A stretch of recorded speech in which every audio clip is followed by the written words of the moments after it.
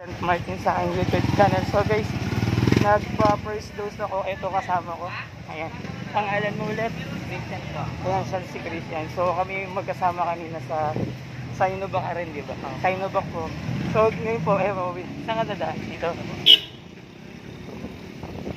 Ayan, pauwi na po kami. Ako papunta po ng unit hub kasi magre-report po ako doon.